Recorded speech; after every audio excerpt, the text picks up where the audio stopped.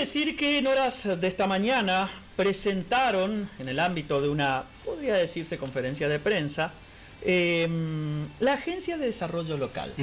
Es una idea, nos decía el arquitecto Guille Monzón, Guillermo Monzón, que busca atraer inversores y estos inversores que manejen la parte privada y también con la ayuda del Estado municipal. Y también nos daban una cifra que la verdad que sorprendía de la cantidad de baldíos ah, que hay en la ciudad de Resistencia. Hay por lo menos, por lo menos 14.000 baldíos en la ciudad de Resistencia. Claro, porque viste que Resistencia eh, se agrandó de tal manera, de una manera exponencial y también de una manera muy desorganizada demográficamente, desde asentamientos hasta entrega de viviendas. Claro, claro. Eh, y hubo épocas en que entregaban viviendas sin luz, sin cloacas, eh, sin calles, eh, entregaban por entregar. Claro, y así es. Y esto, nos decían, también hay que pagar tributos. Así es. Por eso que vamos a compartir eh, a continuación la charla que mantuviéramos con eh, Guillermo Monzón, secretario de Obras Públicas Municipal, acerca de esta situación esa, esa, inversión del sector privado conjuntamente con el acompañamiento del sector público para que todos los tipos de inversiones que se realicen en la ciudad tengan un beneficio, no solamente para el inversor, sino también para la comunidad. Eso lo va a garantizar la participación del Estado. Y bueno, el Estado tiene normativas, tiene regulaciones, tiene también disponibilidad de terrenos ociosos en, toda la ciudad, entonces todas esas cuestiones son fundamentales para que justamente podamos promover un desarrollo con la, la potencialidad que tiene el sector privado sumado a la potencialidad del sector público. Esas potencialidades hoy, sin la agencia, eh, son esfuerzos del sector privado por un lado, del sector público por otro lado. En este caso lo que vamos a hacer con, con, esta agencia es promover el desarrollo equilibrado de toda la ciudad y establecer desarrollos urbanísticos puntuales como también desarrollo de zonas de la ciudad con la participación de todos los propietarios de los terrenos, con el sector del que quiere invertir y con la comunidad.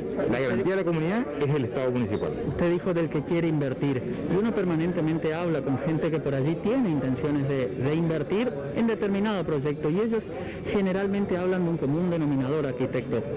Eh, las cargas tributarias, lo pesado que muchas veces recae en la espalda de los inversores. ¿Se pensó en esto? Sí, justamente. una carga tributaria también está relacionada al tiempo de operación de los proyectos y de, la, y de la rentabilidad de los proyectos. Entonces, el tiempo de operación de los proyectos ya lo fuimos trabajando, que recién lo planteamos, que esto es una herramienta más de todo el plan de sistematización de la planificación de la ciudad, porque agilizamos las obras particulares municipales para la aprobación de proyectos privados de una manera digital. o sea, es una pequeña herramienta, pero fundamental porque reduce el tiempo de aprobación de los proyectos.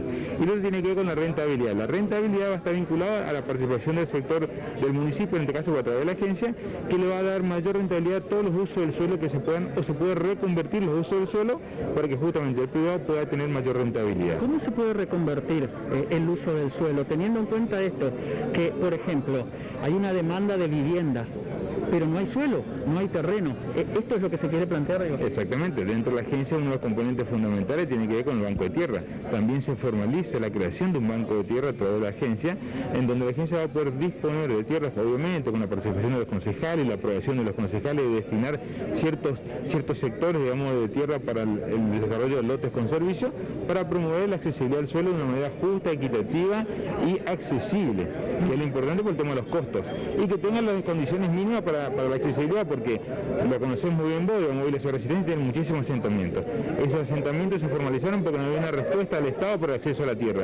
Y además, esos asentamientos carecen de infraestructura, porque al no ser planificadas del desarrollo, carecen de agua, de luz, de desagüe, de calles adecuadas. Entonces, lo que va a promover la agencia es cualquier tipo de desarrollo, como dijo el intendente, el que tenga terreno, el que tenga, el que quiera terreno para un loteo, el que quiera terreno para construir un edificio, el que quiera hacer departamento o cualquier otro tipo de inversión, el Estado no solamente le va a controlar, sino también se va a, promover ese tipo de iniciativas porque justamente va a mejorar la ciudad, va a generar mano de obra, va, a promover la actividad de la construcción que genera la actividad económica en la ciudad y vamos a convertir a Resistencia en una plaza de inversión en la región del NEA. No tenemos que escapar de la concepción de que nosotros nos encontramos en una ubicación geoestratégica como ciudad y como capital. Estamos en el NEA, somos el nodo regional y del Mercosur pero tenemos que acompañar a esa ubicación geoestratégica con herramientas que potencien la inversión privada. Y tenemos muchísima potencialidad.